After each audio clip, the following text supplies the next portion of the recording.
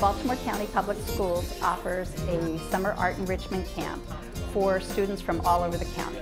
Students are going into third grade, fourth grade, fifth grade, all the way up to 12th grade. Uh, we get students that are very, very good in art and students that want to be very, very good in art.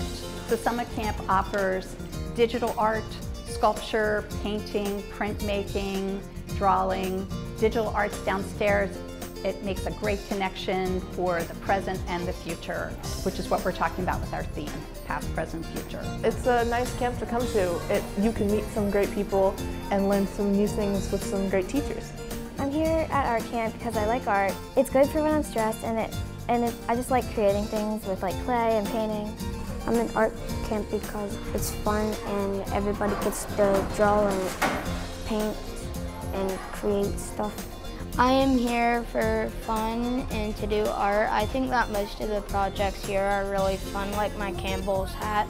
So it's pretty much the soup can, like paper mache on top of an actual hat. It's important for Baltimore County Public Schools to have this program in place because it allows students to have the time, two weeks, almost six hours a day of art making give students this time during the summer just to express themselves and get to know other students that have the same interest.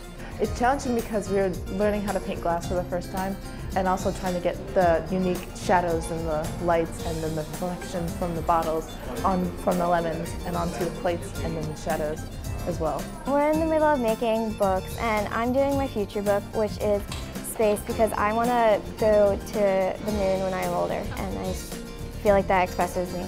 My favorite part about art is the sketching and doing lots of the shadowing and stuff like that. I chose to decide to come to art camp this summer because I wanted to try and learn to paint more and better so I can better myself and so that maybe I can make a career out of it.